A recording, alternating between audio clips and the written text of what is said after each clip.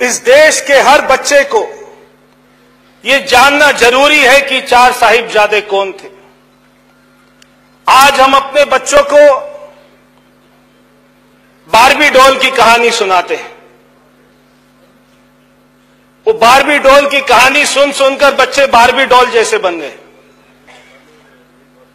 अगर इस देश में बच्चों को बचपन से चार साहिबजादों की कहानी सुनाए अगर इनकी कहानियाँ हर बच्चे को सुनाएँगे तो बच्चा इस देश के ऊपर आने वाली हर मुसीबत को झेल सकता है।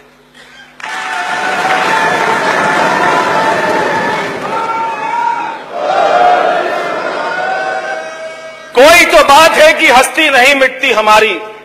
इस कौम में कोई तो बात है कि बार बार जुलम करने के बाद बार बार हस्ती मिटाने की कोशिश करने के बाद कौम की हस्ती नहीं मिटी है।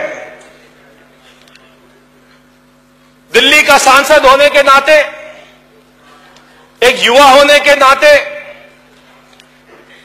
इस बात का पुरजोर समर्थन करता हूँ कि अगर इस देश में बाल दिवस मनाना चाहिए, मुझे कोई आपत्ति नहीं है। जवाहरलाल नेहरू के जन्मदिन पर बाल दिवस वो मनाया जाता है। जवाहरलाल नेहरू से मुझे कोई आपत्ति नहीं है।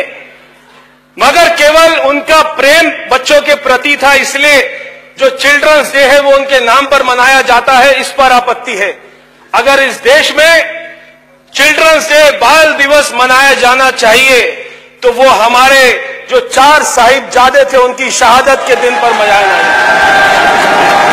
अगर इस देश में हिंदुओं को मारता था, जनेऊ को तोलता था, उसके बाद खाना खाता था।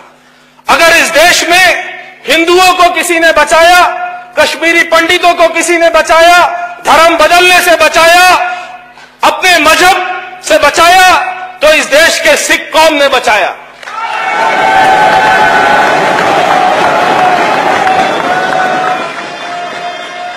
इसलिए हम इस बात की भी लड़ाई लड़ेंगे कि इस देश की हर यूनिवर्सिटी में, हर स्कूल में, हर विद्यालय में चार साहिबजादों की शहादत को और सिख कौम की जो शहादत थी इस देश में हिंदुओं को बचाने के लिए, उनकी सारी कहानियों को, सारी गाथाओं को हमको हर किताब में लाना चाहिए, इस बच्चे बच्चे को पढ़ाना चाहिए।